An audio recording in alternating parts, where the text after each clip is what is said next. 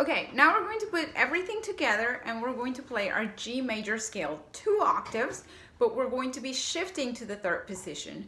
All right, so let's do it together. We're gonna start on our open, we're going to start on our open string G. Ready? And we're gonna play the first octave just the way you know it. Here we go, open string G, ready, and.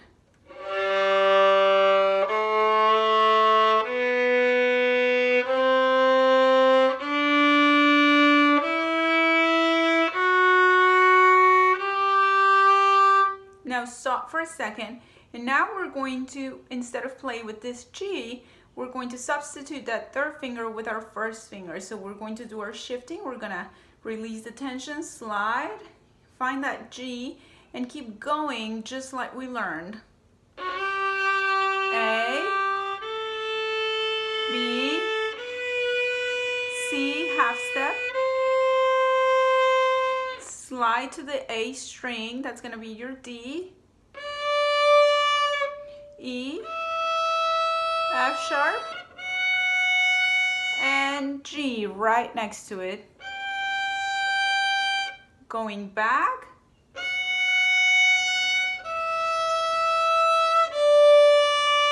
take your time to set up the whole step, whole step, half step.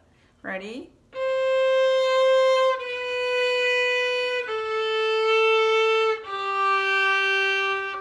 This was G. You're going to stop, slide back to first position, and play F.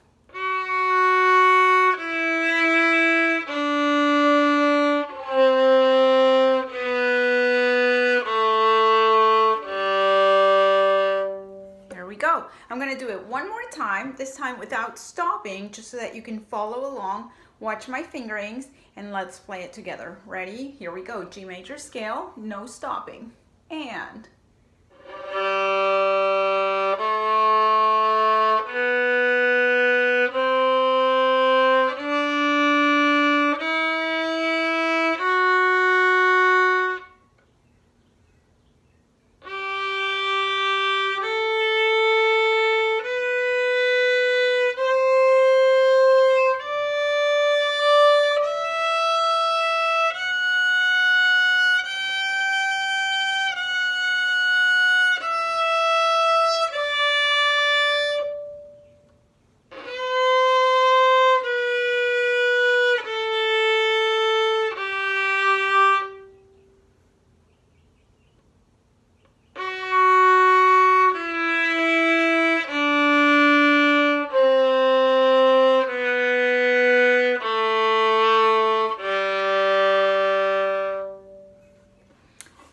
as always, let me know if you have any questions.